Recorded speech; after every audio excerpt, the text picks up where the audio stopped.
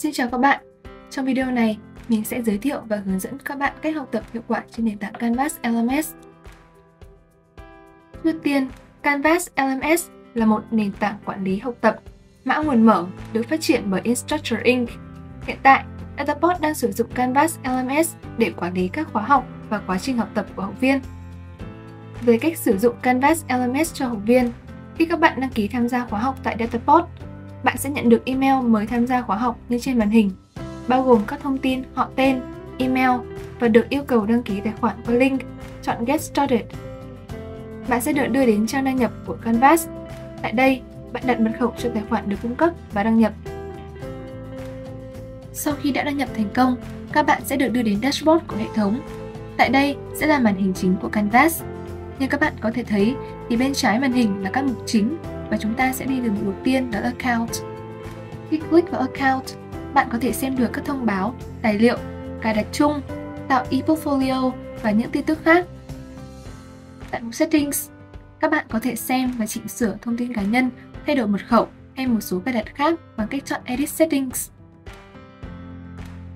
Các bạn có thể thay đổi mật khẩu và thay đổi các thông tin khác. Sau khi thay đổi xong, các bạn chọn Update Settings để hệ thống cập nhật. Tiếp theo, tại mục Dashboard sẽ là nơi hiển thị các lớp học mà bạn tham gia. Ví dụ, ở đây là lớp học Excel for Data Analytics, Excel DA. Khi bấm vào một lớp học bất kỳ, bạn sẽ được đưa đến trang course của hệ thống.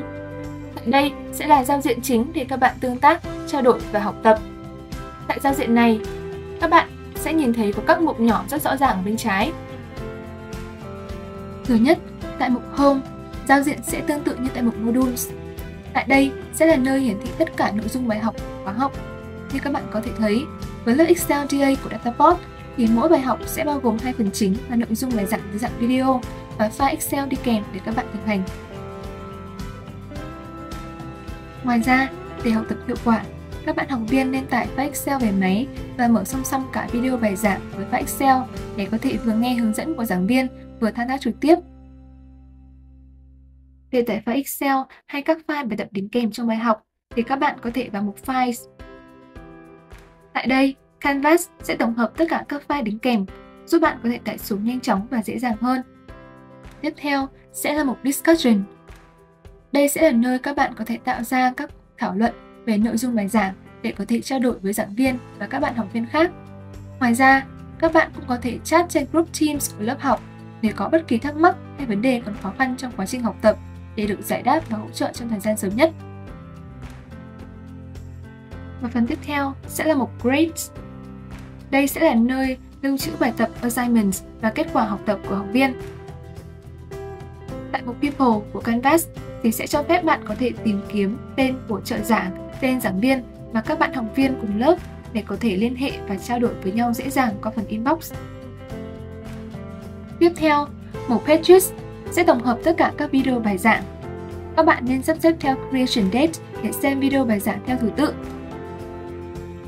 Tuy nhiên, mình vẫn khuyến khích các bạn vào mục Home hoặc mục Modules để xem tổng hợp bài giảng cả video và file đính kèm theo từng tiêu đề bài học để tránh nhầm lẫn thứ tự. Phía dưới sẽ là mục Files và như mình đã nói ở trên thì đây sẽ là nơi tổng hợp tất cả các file đính kèm của từng bài học. Bên cạnh đó, học viên còn có thể xem giới thiệu về khóa học và các tài liệu liên quan mà giảng viên update qua mục Syllabus. Ngoài những tính năng trên, thì Canvas LMS còn cho phép học viên kiểm tra lịch học.